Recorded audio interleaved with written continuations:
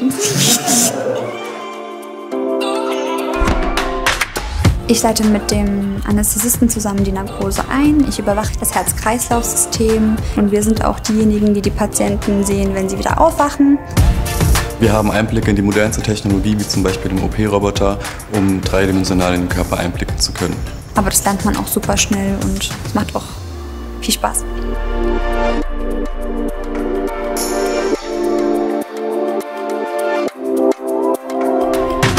Ich würde lügen, wenn ich jetzt sagen würde, es geht natürlich auch nicht ums Geld, aber wir haben einen gut bezahlten Job. Dafür braucht man kein Abitur oder auch kein Studium. Ab der mittleren Reife kann man quasi diese Ausbildung anfangen.